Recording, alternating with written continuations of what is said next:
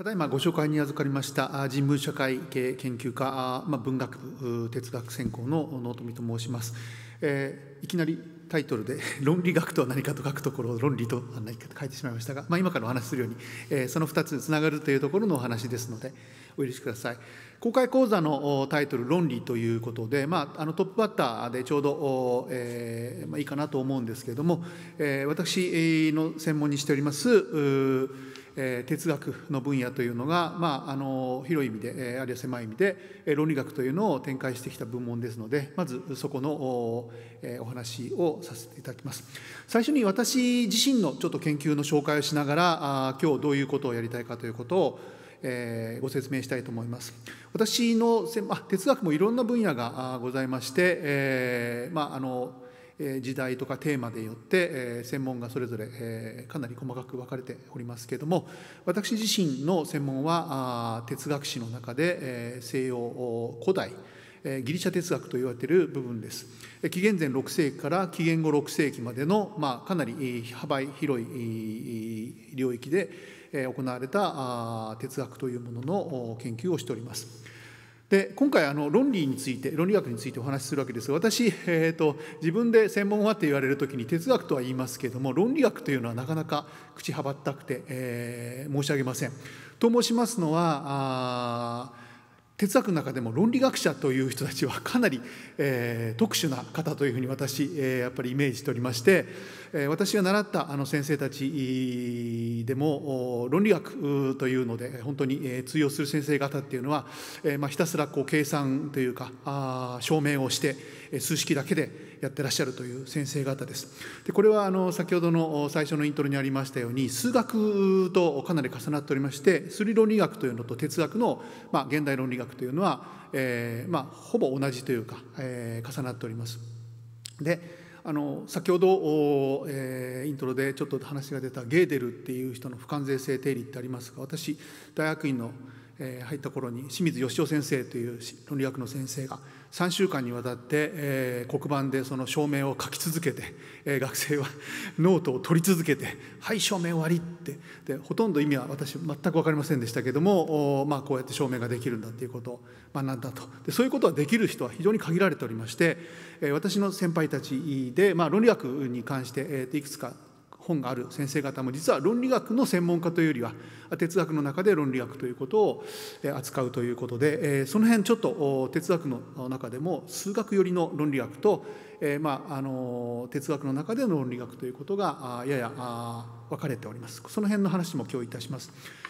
私自身は古代哲学でプラトンやアリステレスを中心に研究していますが、まあ、論理学と多少関係しているところあります、えー、アリステレスは論理学の祖で今日お話しいたしますけれどもアリステレスが残した6つの著作論理学著作のうちの1つ「ソフィスト的論駁について」という本新しい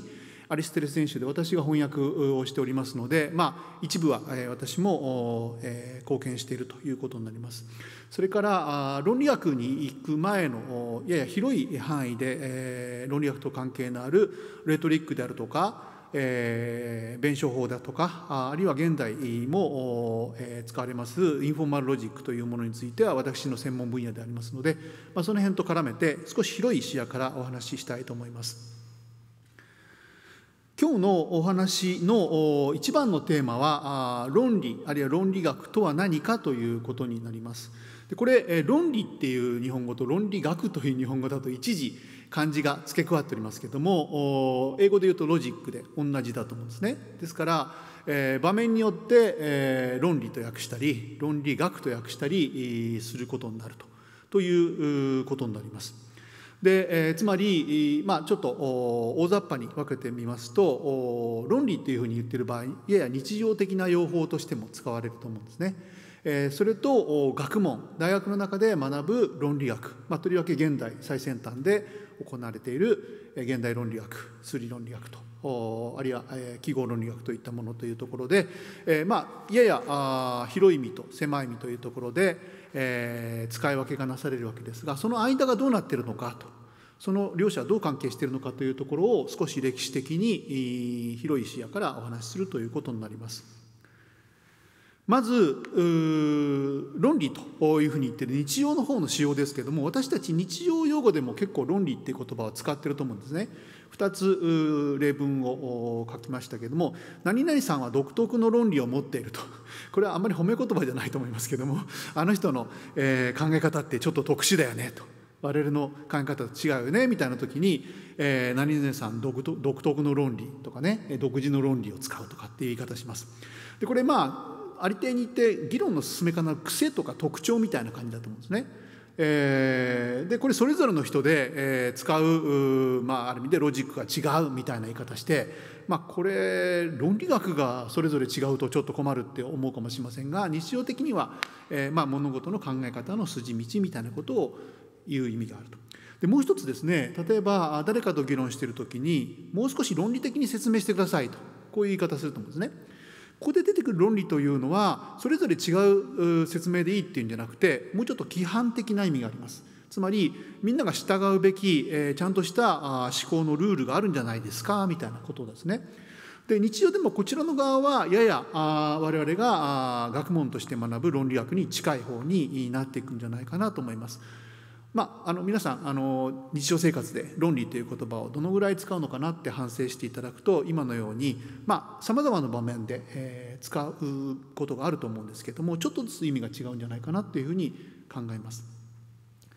他方で大学とかで教えたり研究したりする論理学というものはこれはまあ真理の探求だとか思考操作の道具あるいは説明説得の手段のようなそういったさまざまな意味ですがこれは非常に技術的かつ専門的でありまして最先端の論理学については本当に、えーまあ、数式、えー、と証明の連鎖で、えー、通常の人が見てもあるいは私で見ても専門的な証明については、まあ、よくわからないと、えーまあ、訓練が必要だというそういう分野になります。まあ、一般的な、あの規定ですけれども論理学というのはやはり一つ普遍性に関わると普遍というのはユニバーサルという単語ですけれどもどこでも通用するいつでも通用するというそういう意味ですね。そして合理性、まあ、これ論理の論理というところと合理というのがあ、まあ、あの日本語でも重なっておりますけれども、えきちんとリズムで、えー、やることであると、まあ、この辺も一般的には、えーすぐ分かっていただけると思います。で真理に何か関わるんだろうとでこの関わり方のところについて後で少し、えー、いくつかの層があるということを、えー、ご説明いたします。でここはもう私のあの守備範囲を超えてしまいますが今日私の後でお話しいただく先生方のところで多分、えー、出てくるコンピューターとかプログラミングとか計算とかそういうところで使われるような、より高度な専門的な論理というのもあっていくつかの種類の論理学があってそれが道具として応用されているとということになります。でここで私が今日問うのはちょっと不思議なあ、え問いなんですね。えー、つまり現代で論理学といって、え専門の先生方が論理学ということで研究するのは数理論理学記号論理学ですけどもそれ以外の論理学ってどういうのがあるんですかとあるいはそれらのそれ以外の論理学っていうのは意味がどういう意味があるのかえー、そういったことについて少し考えていきたいと思います。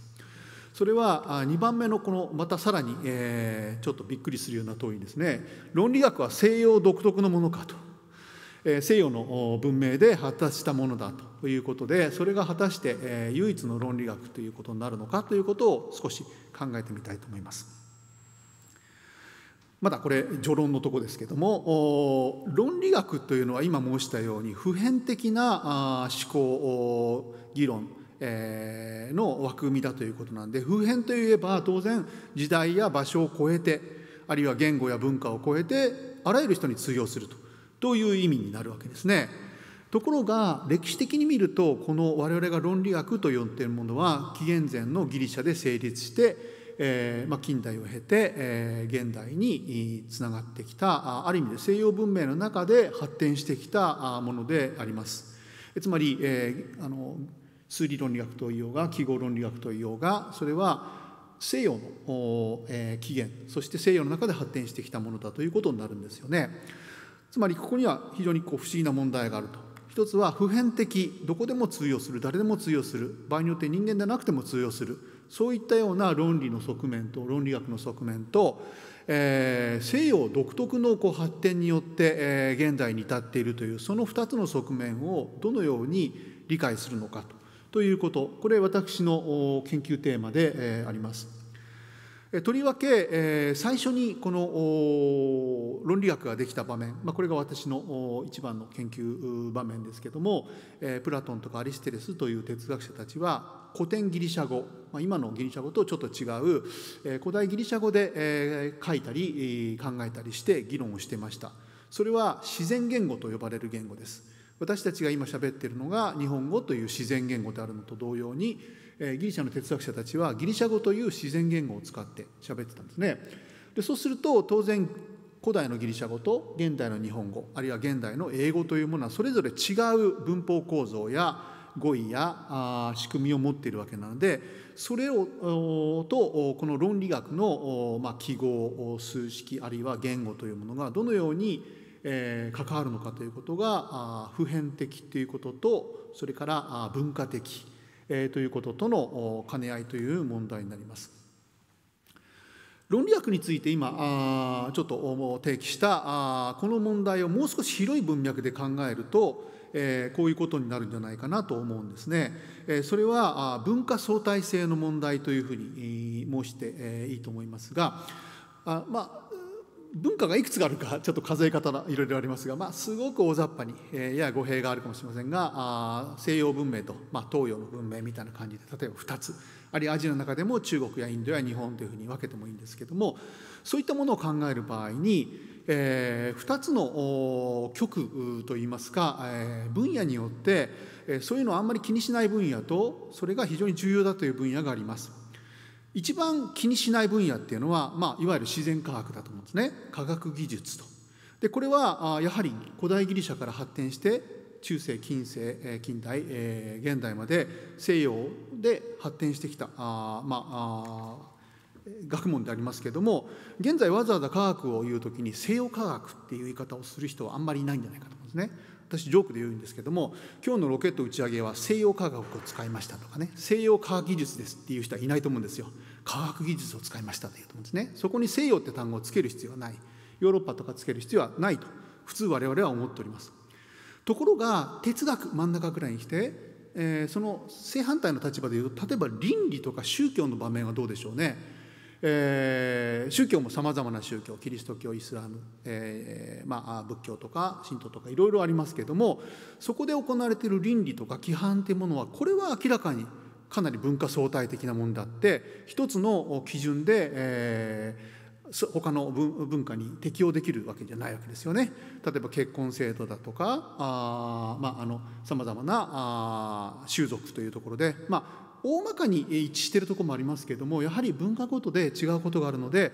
例えば、えー、こういうことしちゃいけませんよっていう場合にそれは、まあ、例えばあアジア的な倫理観ではとかあるいは西洋的な倫理観ではというふうにそこには頭に、えー、文化がくっつくわけですね。そうすると西洋とか東洋とかってことを全く抜きで、まあ、もう端的に科学技術っていうふうに言われるようなえ文化相対的なものがほとんど関係ない分野とそれからあその都度その都度日本のとか中国のとかっていうふうに、まあ、やはりくっつくあるいは仏教のとかキリスト教のっていうふうにくっつくようなそういうようなものの考え方の両極があって哲学というのは、まあ、その両方ともにまたがっているわけなんですね。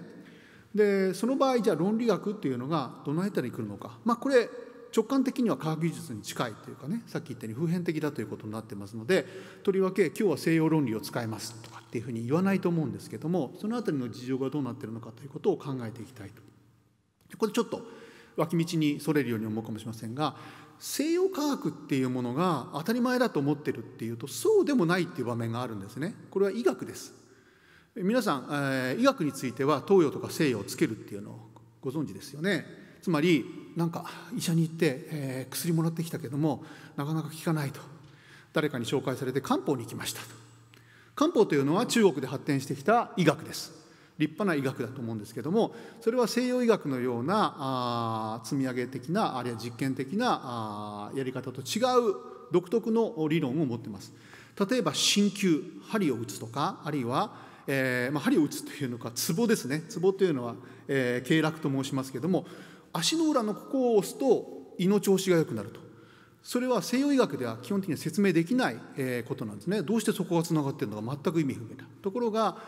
漢方の中ではそういうのが長年の経験によって培われてきてある種の理論によって、えー、実実効性があ、まあ、確認されているというか実際ツボされると気持ちいいわけですよね。であるいは漢方薬というのはこれはまあ薬草なので基本的には西洋にもございますけれども、えー、この辺をやる場合にはあえてね西洋医学を選ぶんですか？漢方を選ぶんですか？っていうふうにお医者さんも聞くと思うんですね。ということは科学技術も決して一つだけであるあるわけじゃなくて少なくとも医学の分野においては東洋と西洋の違いが今でも残っているということになります。それでは論理学についてはどうでしょうか？コンピューター言語とかあるいはあそういったものについて、えー、日本の論理とか中国の論理を使ってコンピューター言語を作るっていうのはまあ多分あんまり聞いたことはないと思いますけども説得するような論理についてはこれはちょっと文化差があるような気がしますよね。つまり中国人と議論している時に中国人が納得してくれるような説得の仕方をするあるいはイスラム圏の方と議論する時に彼らに通じるような論理を使うそこでも論理ということは言えるわけなので論理学として、えー、数理的に成り立っている分についてはもしかしたら科学技術と似てるかもしれないけれども、えー、日常的な場面で説得とかあ議論しますっていう場面では文化相対的であるという可能性がある。まあ、この辺が一体どういう関係になっているのかということを考えてまいります。ちなみに今日お話しする哲学者は これ、えっと、私がアテネに行った時にアテネの考古博物館で撮った写真なんですけど、まあ、あの要するにギリシャで出土したもんなんで それなりに由緒正しい、えー、アリストテレスとプラトンの、えー、像です、えー、今から2000、えー、2400年ぐらいにかけて、えー、前の哲学者たちです。さて、えー、具体的な内容に入っていきたいんですけれども、論理学というものが西洋で成立したっていうのはどういうことかっていうここを少し丁寧に見ていきたいと思います。論理学はもちろんその後発展してきてとりわけ19世紀以降に、えー、飛躍的な進歩を遂げたので、えー、本来そこをお話しするのも、えー、よ良いんですがそれはまあまた別の専門の先生が、えー、おられますので、まあ、私自分の一番関心の高い一番最初に論理学ができた場面についてお話ししたいと思います。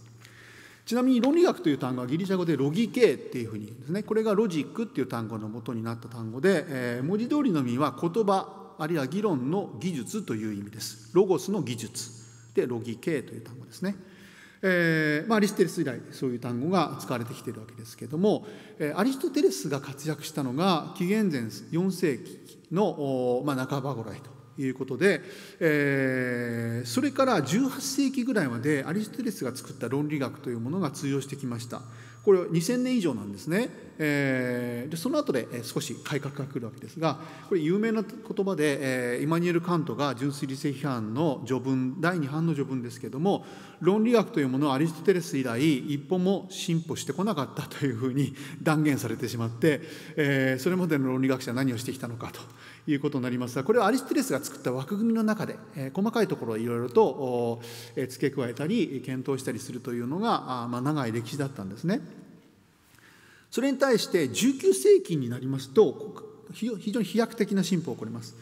これはあのドイツ人のフレフレーゲっていう人とかあるいはカントールという人それが20世紀に入ってさらにそれを発展させたゲーデルとか、えー、そういった論理学者が出て、えーまあ、これはほとんど刷新したと言ってもいいと思うんですね論理学を刷新したと。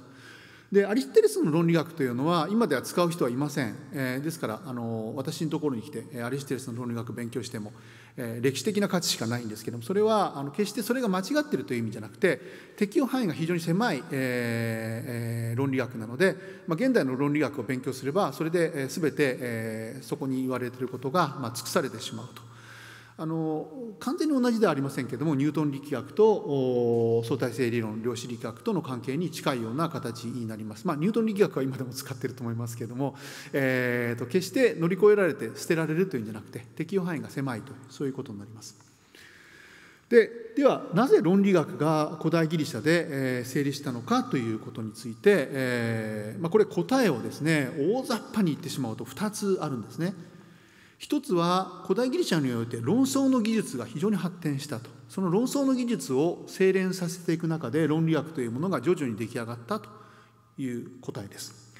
でもここだけだとそれほどねこう特殊に思えないんですね。中国にも論争ありましたし古代インドにも論争ありましたし近代にもいっぱい論争があるわけですよね。議論するっていうのは人間のそれぞれの文明で行われていることで、まあ、ギリシャ人はすごく議論好きだったんですけどもにもかかわらずなぜギリシャ人があ論理学を作ったかということの証明には説明にはやや不十分だと。もう一つあります。それは数学との連携なんですね。数学といってもこの場合は幾何学ですけども、えー、後で、えー、少し、えー、触れますけどもアリステレスの半世紀後にユークリッドという人が幾何学体系を作ってそれも、まあ、現代近代に至るまで、幾何学の基本的なモデルになったわけですけども実はその論理学の成立とこの幾何学の成立というのはほぼ同時期、まあ、おそらく連動しながら進んできたと。いうことになります。でこの辺りが現代につながる西洋論理がどう発展していくかということの一つの出発点になります。まあ、あの先ほどのお話であの思い出していただきたいのは現代の論理学は数学と重なっていると。これはもともと起源からそうだったわけですね。つまりアリステレスが作った論理学というのは数学の公理系というのと、えーまあ、あのモデルにして作ったと。ですからあ西洋の論理学というものの礎がギリシャでできたということは、まあ、言論論争の技術そして数学その2つがキーワードになります。これを3段階の説明でどう整理したかということをたどっていきたいんですけれども、まあ、1段階目と2段階目まずいきます。第1段階というのは非常に古い時代のギリシャの様子です。えー、ホメロスっていう詩人がおりますよね西洋文学の基本になるイリアスとオデュッセイアと、えー、非常にこう壮大な叙事詩ですけども実はあれ、え、紀元前8世紀の叙事詩ですけどもあれ読むとねギリシャ人のこう性格がよくわかるんですね。つまりひたすら論争をすると。戦場であるにもかかわらず総大将と兵士が戦うべきか退くべきかみたいなことを議論したりするんですね。で我々ではちょっと考えられないと。つまり総大将が行けっつったら行くあるいはあ、まあ、上上官が、えー、踏みとどまれと言ったら踏みとどまるっていう文化とだいぶ違って、えー、自分が納得するまでちゃんと議論すると。で相手に、え、議論によって納得しなかったら例えば戦争に行かないとかっていうそういう連中がいっぱいいたわけですね。でギリシャ人はあこれアゴンっていうんですけども、おまあ、そのととにかくいろんな人と競争するのが好きだとオリンピックゲームみたいにね。えー、人と争って1位2位3位を決めるのが好きだったんですけども、まあ、それはとりわけ、えー、言葉によって議論をする。自分の主張をする。あるいは相手を説得する。それがあ、えー、最初から発達していたと。しかも皆さんご存知のデモクラシー、ね、デモクラティアっていうのはこのこの時代のア,、えー、アテナイで発達したわけですけれども、えーまあ、みんながね議論しながら投票で決めていくっていうシステムが出たのでより言論の重要性が高まってるわけですよね。つまり全て決めるにはまず人前で説明してそれを聞いた人が反論したり、えー、議論したりして最終的には投票すると。そういうシステムの中で言葉をいかに使うかということが非常に重要になっておりました。でそれを少しこう専門化したところに出てきたのが言論の技術というのがですね。ロゴーンテクネと言いますけども言論の技術と。でこれは紀元前5世紀ぐらいにソフィストっていう人あるいは弁論家という人たちが実際にそういう名前を使って、えーまあ、ちょっとマニュアル化しマニュアルとしてね作ったっていうんですけども人を説得するにはどういう喋り方をすればいいのかあるいはこういう人にはこういう論理を使えばいいんじゃないですかみたいなことを発展させたっていうのがあります。つまりこの段階ではとにかく議論が重要で議論するためにはどういう言葉遣いをすればいいのかどういう説得法をするのかでそれをまず開発したと。ところがこのソフィストを批判したプラトンという哲学者は言論の技術には2種類あるっていうふうに分けたんですね大きく。でその一つの、えー、技術は、まあ、彼から言うと低い位置に与えられると。でもう一つは良い位置に与えられるということで低い位置に与えられるものというのは霊取り系というふうに呼ばれました。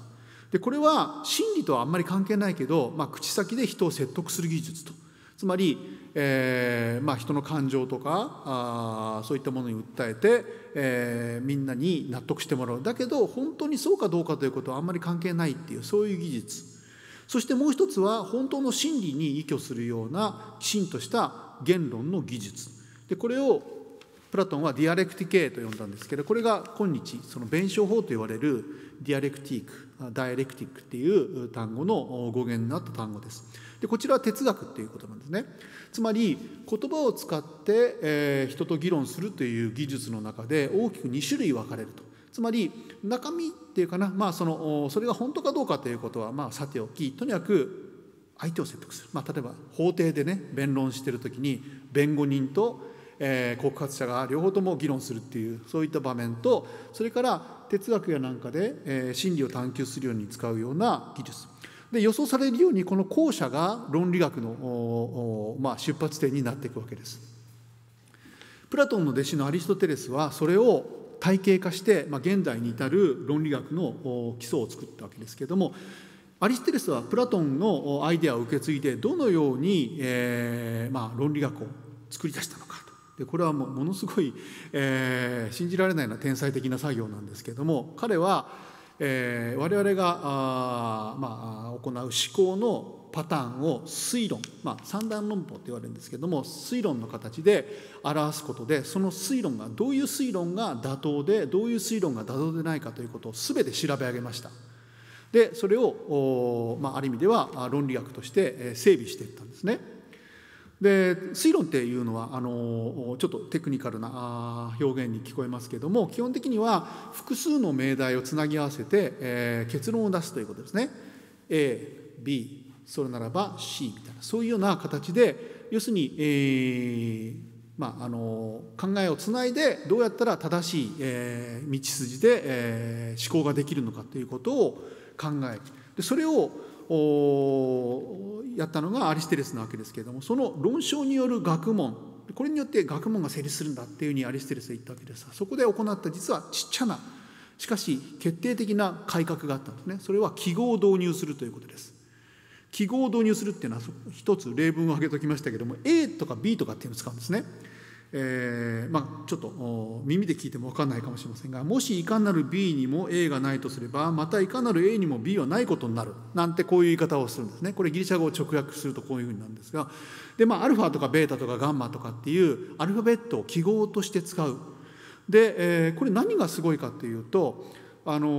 ー一つ一つの議論というのは例えば人間とか牛とかね、えー、生きているとかいろんな単語を入れながらいくわけですがそれはやっぱり特殊な状況で成り立っている思考なんですね。でそれを記号で置き換えることによって形式だけで、えー、その議論が正しいか正しくないかということを判断できるというこれをアリステレスは導入しました。でこれが形式論理学というものの出発点で、まあ、現代まで続いているわけですね。でどうしてこういう発想になったのかってこれ難しいんですけどもおそらく数学の方が先にこういう議論の仕方をしてたんだというのが、まああのえー、状況から分かりますそれは幾何学ですけども幾何学の場合 A と B を結んで C と D を結んで平行とかってこういう時に ABCD っていうのを記号で使ってますよね。でユークリッドという人の言論を読むとそういう書き方をしてあるのでおそらくアリステレスはその幾何学との連動でそういうやり方を作り出したというふうに考えられます。ちょっと次の例を見てみると。でアリステレスがやった時の一つの大きなモチベーションは間違った議論を排除するというところにあったんですね。これ今でも有効なので、え、考えてもらいたいんですけども語尾推論って言います。パラロギスムスって言うんですけども、えー、正しい論理を我々持ってれば間違った議論をちゃんと見分けることができるよねっていうことなんですね。えー、三段論法っていうのは大前提小前提結論っていうそういう3つの命題で構成されてます。ちょっとこれ、えーと、私書き方が甘くて申し訳ない。もっと正確に書けばよかったんですが、えー、ちょっと言い直すとねいかなる動物も論理学持ってない。全ての人間は動物である。いかなる人間も論理学を持っていない。いかがですかねこの命題3つ。いかなる動物も論理学を持っていない。全ての人間は動物である。いかなる人間も論理学を持っていない。これ推論としては妥当です。形式としてはね。でも明らかにおかしいですよね。これどこがおかしいかっていうと動物という単語に二義性があるんですね。動物という場合に、えー、人間も含まれるような生物種としての動物という意味と人間以外のアニマルっていうそういったような意味での動物。大前提で使われている動物という単語は人間以外という意味です。小ゼッテで使われている動物という単語は人間も含んだ生物種という意味です。ということはこれ語尾推論なんですね。これは、えー、多義性の語尾と言われているもので、まあ、アリステレスが、まあ普段我々が一番犯しがちだっていうふうに言ったあ語尾ですけれども、まあ、これっていうのは正しく考える場合に、えー、我々が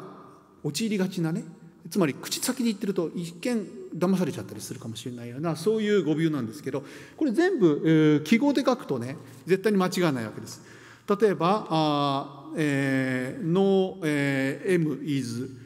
えー、P、えー、All S is M っていうと No S is P っていうふうに書けるんですけどもそういうふうに記号化すると今の多義性の語尾が生じないので、えー、絶対に間違いない。つまり論理学というのは形式化することによって誤りを防ぐっていうそういう作用がありました。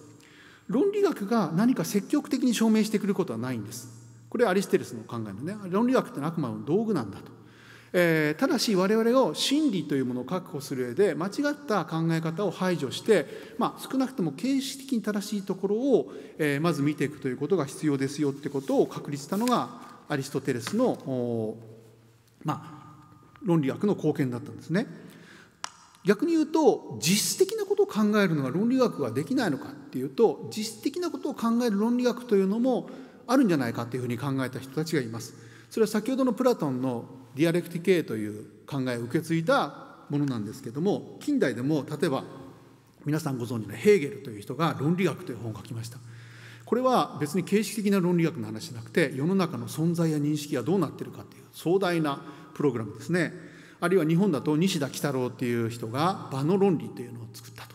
でこれはね、えー、形式論理じゃなくて我々の思考の実質的なことをきちんと筋立てて考えますってことで実質的論理学っていう言い方をすることがあるんですけども形式論理学と実質論理学というのは一応大きく分かれてて現代でその実質的論理学のことを論理学ということはあんまりないんですけども 20, 20世紀の前半ぐらいまではむしろ論理学という場合にはカントとかヘーゲルとか、えー、そういったような人たちがやった実質的論理学の方があ、まあ、主流っていうかな。そちらが主に議論されていたということになります。19世紀から20世紀にかけて形式論理学がものすごく発展したことによって、まあ、現在ではどちらかというとというかな大多数のところで論理学というと形式的な数理論理学のことのみを指すというふうになってますが歴史的にはあ今申したように実はいくつかの論理学の流れがあって、えーまあ、それぞれの立場で論理学という単語の使い方が少し違ったんだということになります。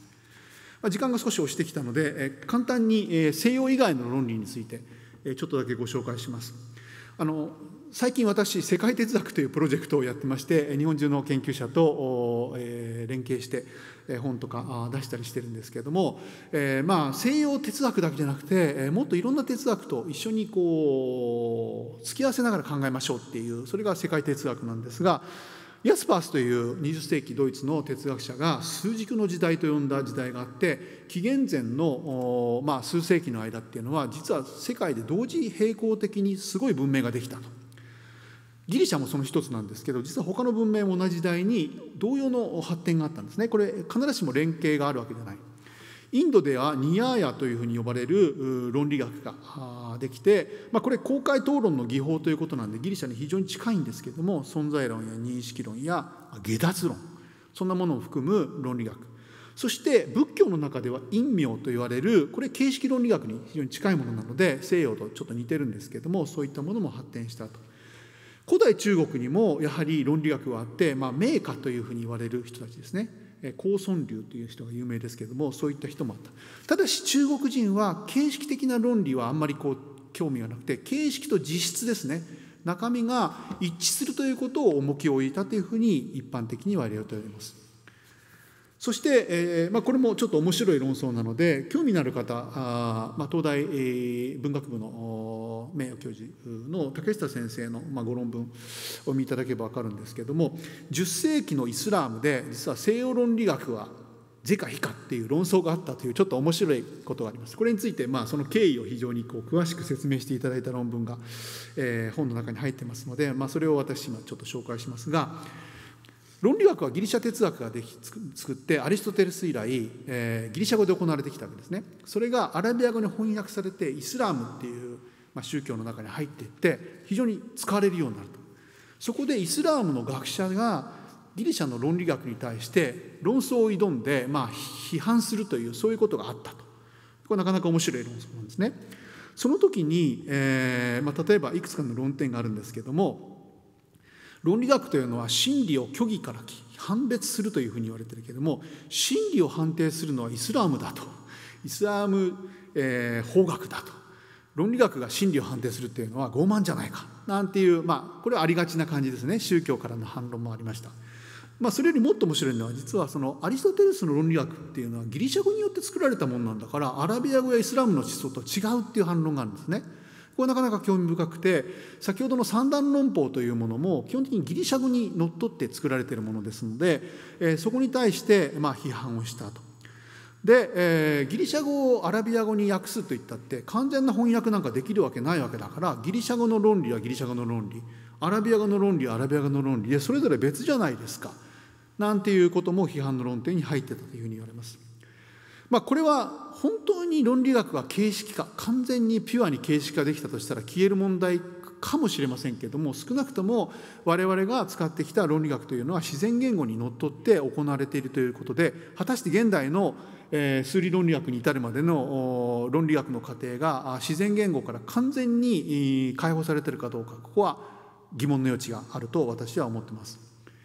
最後に日本語の論理ということについて一言触れます。えーまあ、皆さんも日本語って非論理的だよねみたいなそういう悪口を聞いたことあると思うんですね。日本人って論理性に欠けるとか日本人は論理的じゃないとか。でこれはまあ単純に、まあ、間違いというか、えーまあ、ステレオタイプだしそれから非常に不正確な言い方だというふうに思って私はあまり相手にしませんけれども、まあ、広くえー、言われてる言い方ですね、まあ、ヨーロッパアメリカの人たちは非常にこう論争的なのに対して日本人って議論が下手だと、えー、非論理的なんだ。その原因として日本語がいけないんじゃないかっていうこういう、えー、批判が昔からあります。日本語っていうのはどうも曖昧だ、ねえー、ちゃんと正確に表すには不十分だなんていう議論に対してこれ去年のですけども飯田隆さんが出した本「日本語と論理」という本の中で、えーまあ、それを基本的には否定する、まあ、緻密な議論をされてます。まあ、飯田さんの結論はね、まあ、これはあの必ずしも飯田さん一人じゃないんですけどもこういうふうに言ってられます。人が日常使っている言語の中に非論理的な言語はなく言語の非論理的な仕様があるだけだと。つまり英語と日本語とギリシャ語を比べてあるいはドイツ語を比べてこっちの言語のが非論理的だとかこっちが論理的だってことはないとつまり我々使っている言語はいずれにしても論理的な仕様には耐えられるものであって英語を使おうが日本語を使おうが論理的思考によって、まあ、同等のことができると。でこれ飯田さんはあ現代論理を使って現代論理から日本語を分析しているので、まあ、その意味ではそういうふうに、えー、見るということがあり得るので今日の私の話では少しえー、必ずしも、えー、ぴったり重なるわけではありませんけれども少なくとも日本語っていうことを論理という視点から考えるということが行われています。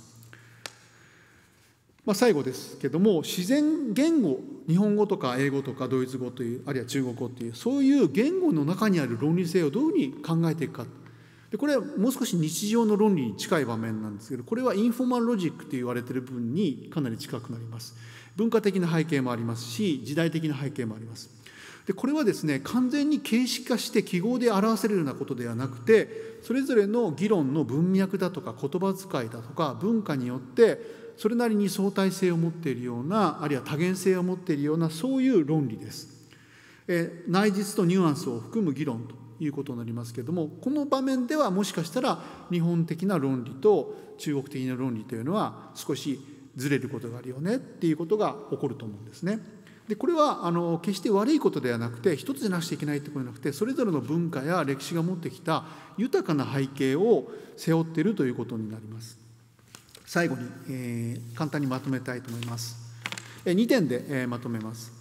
一つは日常の論理というものと形式的な論理学というものはあ、まあ、違いと、ま、連続性を今日のお話に見たように、ま、両方とも認識することが必要だと思うんですね。広い意味での論理と狭い意味での論理学特に論理学の中でもとりわけ狭い部分の数理論理学というのが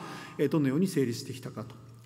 で日常の言語私たちがすでに使っている日本語や英語や中国語はそれ自体でもすでに論理を持っているわけなんでそこの豊かさというものを、まあ、認識して、まあ、それを非常にこう取り出してきちんと整備していくことによって論理学を作るっていうそういった流れがあったということです。で、えー、非常にこう極限まで形式化された論理学というのは、まあ、コンピューターが使うようなあ、まあ、言語みたいなことになりますけれども、まあ、記号によって作る。それは非常に普遍的であります。それによって我々の能力を超えたさまざまなことができるようになっておりますが、えー、まあ、そういう場面が一方であるということね。それから私たちやっぱり誤った思考や合理的とは言えない判断をえーまあ、論理学というのは排除するというのが目的で作られたのでちょっと論理学に対して皆さんの期待がどうか分かりませんけど論理学というのは非常に控えめな学問です。これはダメですよってことは言えるんだけどこれが真理ですということは示せないっていうのが論理学の基本です。え、つまり妥当な推論はできるけど中身については個別の学問に委ねるとそれが論理学の基本的な考え方です。西洋、えー、2番目の点ですけれども西洋哲学にも他の哲学伝統にも複数の論理学があるとこれも重要で現在で、え、なかなか忘れられがちですけれども先ほど見たように西洋の中でも弁証法の論理とかあるいは超越論的論理とかいろいろな論理学があって、えー、形式論理学とは少し違うような形で展開してきたものもあります。多元的に論理学の可能性を追求するというのが哲学の一つの役割ではないかと。で最後に私たちがやっぱり論理学をやっぱり勉強するっていうことはそれをま身につけながら豊かな生き方を求めていくっていうことになってこれやっぱり哲学の基本だと思いますので哲学をしている以上、まあ、こういったさまざまな論理学を学びながら今後の思考に生かしていきたいというふうに思っております。ちょっと駆け足になってしまいましたけど私からの講義は以上で終わらせていただきます。どうもご清聴ありがとうございました。